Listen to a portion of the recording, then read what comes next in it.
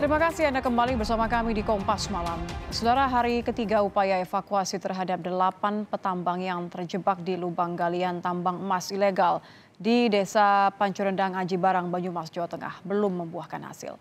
Tim gabungan Basarnas, TNI, Polri, dan BPBD masih fokus untuk menyedot air yang menggenangi lubang galian tambang.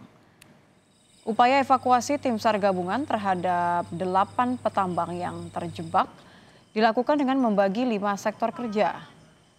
Upaya evakuasi terkendala banyaknya air terus menggenangi lubang galian tambang. Petugas kini berupaya menambahkan pompa air dengan kapasitas lebih besar untuk menyedot air sehingga proses evakuasi terhadap para korban dapat maksimal.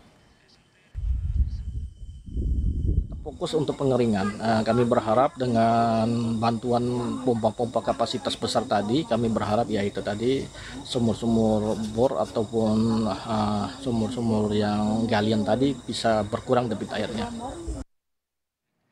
Proses evakuasi delapan petambang yang terjebak dalam lubang tambang emas ilegal mengalami kesulitan lantaran banyaknya air yang menggenangi lubang. Selain berupaya menyedot air, tim SAR gabungan juga akan menutup titik-titik lokasi yang dicurigai adanya kebocoran menuju lubang galian. Dinas SDM Jawa Tengah juga akan menurunkan uh, kamera hole ke dalam lubang galian yang menjadi lokasi terjebaknya delapan penambang.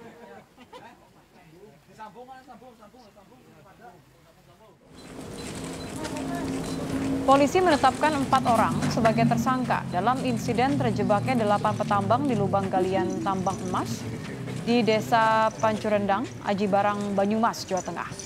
Empat tersangka terdiri dari satu pemilik lahan dan tiga orang pengelola dan pendana sumur tambang.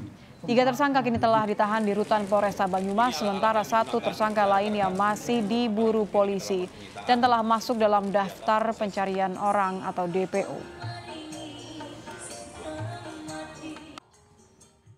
Gelar perkara dari gelar perkara tersebut memang tambang tersebut tidak tidak uh, memiliki izin dan kita menetapkan empat orang tersangka di mana empat orang tersangka ini salah satunya adalah si pemilik tambang, uh, pemilik lahan dan ini masih terus berproses. Tentunya nanti setelah yang lain tertangkap kita juga akan uh, menyasar barang-barang tambang tersebut dijual ke mana. Ini juga nanti akan kita kita lakukan pengungkapan terhadap nah, siapa pun yang uh, terkait dengan uh, kejadian ini.